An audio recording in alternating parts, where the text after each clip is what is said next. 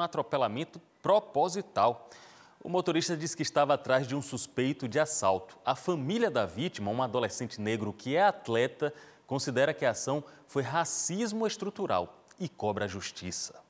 Familiares do jovem de 15 anos que ficou ferido prestaram depoimento na delegacia de crimes contra a criança e o adolescente. Tentamos conversar com o rapaz e com os pais, mas eles não quiseram gravar entrevista.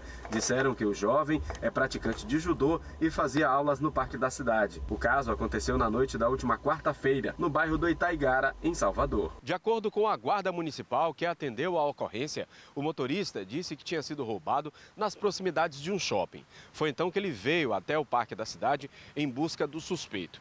Ele avistou um grupo com quatro jovens e acreditou que o suspeito estava nesse grupo. Foi então que ele avançou com o carro. A defesa diz que o motorista do carro, um médico, de fato entrou no parque com o veículo, depois de buscar uma viatura que estava no local para informar que tinha sido roubado por quatro suspeitos na Avenida ACM.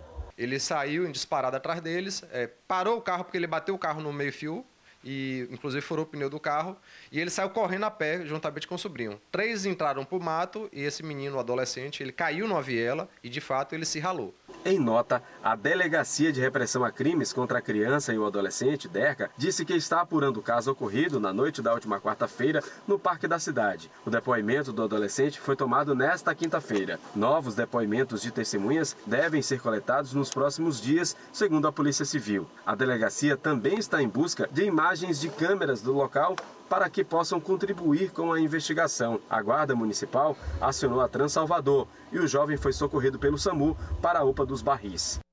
Conversei há pouco com um professor de judô do rapaz. O garoto de 15 anos iria disputar na semana que vem uma seletiva para o Campeonato Brasileiro de Judô. Ainda não se sabe exatamente a gravidade da lesão que ele sofreu e nem quanto tempo vai precisar para se recuperar.